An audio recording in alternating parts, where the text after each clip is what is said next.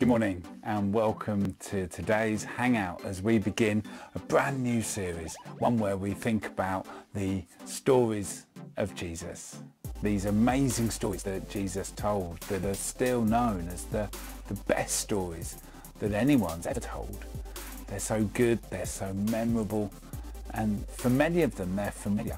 But what I love about these stories, and this is why I've got a picture of a door there, is that uh, it's like there's someone knocking on our door and we open the door and, and we're fascinated by what they're saying.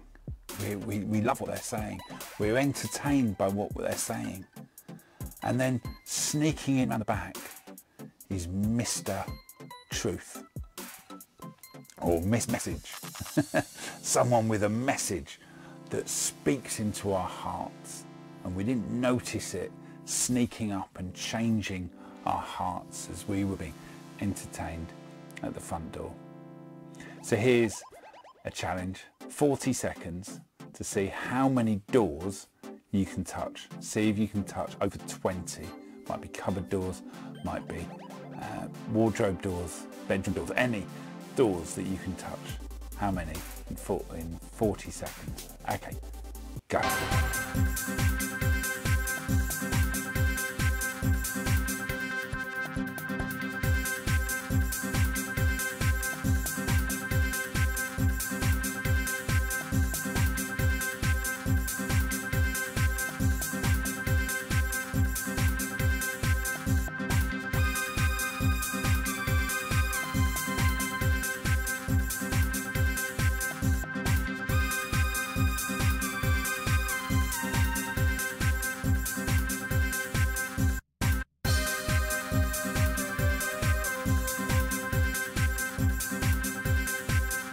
Story that Jesus told, this one that we're thinking of, uh, involved a, a goody and a baddie.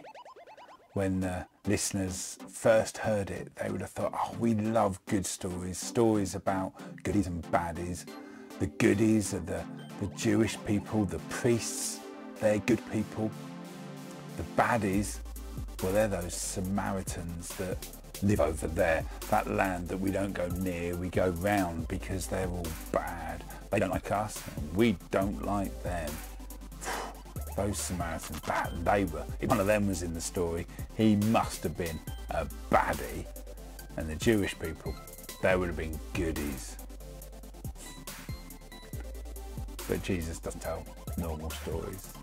He told a story when the goody was the Samaritan.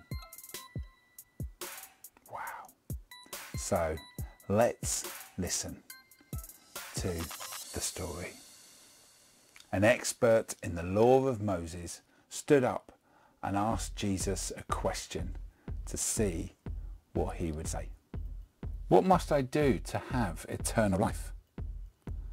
Or what is written in the scriptures? The scriptures say, love the Lord your God with all your heart, soul, strength and mind. They also say, love your neighbour as much as you love yourself. You are given the right answer. If you do this, you will have eternal life. But the man wanted to show that he knew what he was talking about. Who are my neighbours? Jesus answered by telling this story.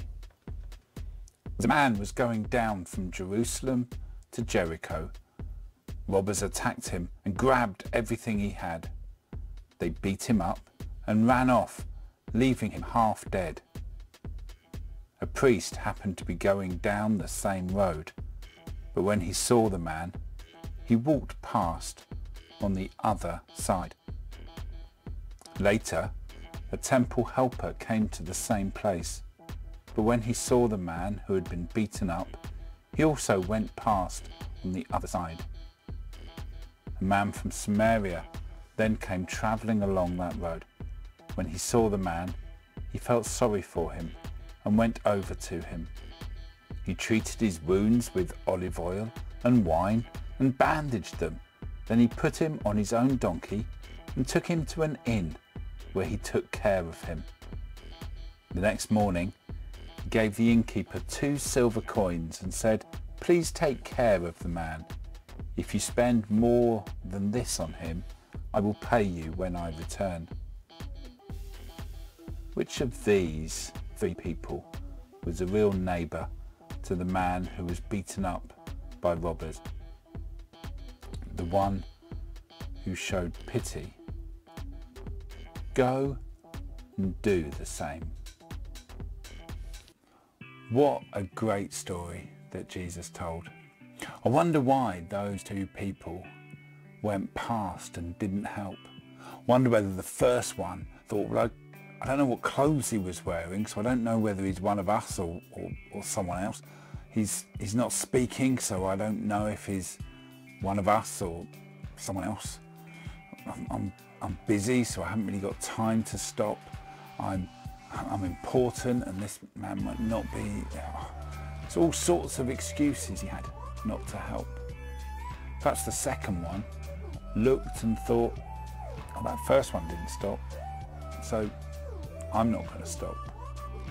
Just copied someone else. But the Samaritan, he stopped, cared, and treated the person injured as he wanted to be treated himself. he did to others what he wanted them to do to him. Amazing story that Jesus told. I wonder what truth has gone into your heart today. Is it that we can make excuses? Is it that we sometimes just follow other people's bad example? Or is it that we need to do to others what we would like them to do to us, no matter how much it costs us?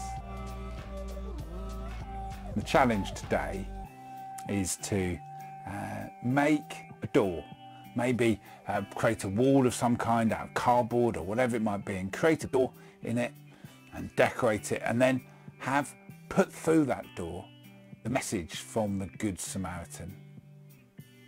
What is it that you want him to say to you today? And we'll see you Thursday live at 5.